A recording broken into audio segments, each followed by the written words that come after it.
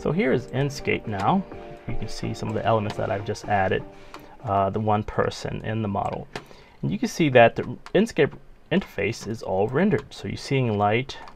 Um, to the right you see I've turned on the help menu and it tells you like the basic commands, for instance moving, if you're flying or walking on the ground.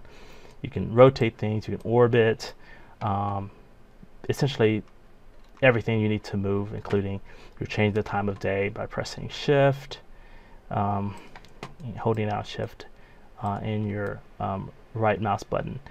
That sort of thing is uh, one of the things you double click to go close to a model, come back out. Um, and I've customized some of the materials from the model. Um, so we see a um, variety of things just to make it a little more beautiful. Okay, so here's the Enscape interface that'll just give you a quick overview um, to get you started with this. Um, first, you can always uh, annotate in your model. Um, that's a little, and the same thing for BIM. These are where you can select a particular item in the model. There's more advanced features. Uh, you can also look at the views that you're using. We're going to close the Help tab.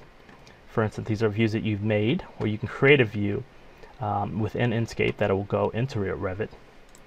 Um, from your video editor is where you can add movies. For instance, you can choose a frame, and then you choose another frame, and then you can always play that back um, in the model.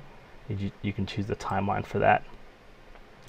And so uh, you also can export any of your your uh, elements in your video, uh, or you can export to screenshot. And this is for exporting a um, screenshot. You can export videos within the video tab.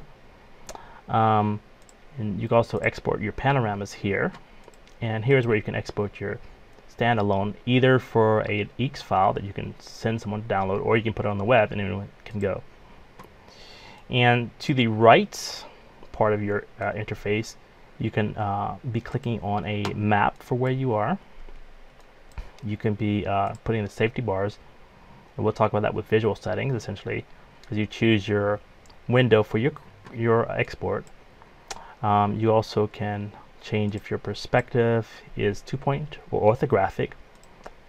You can um, choose which mode is for best for navigation. You can also connect with your Oculus right here. And these two items are for your visual and render window settings. And we'll go into that because that's definitely where you get to start perfecting what model elements are, are going on.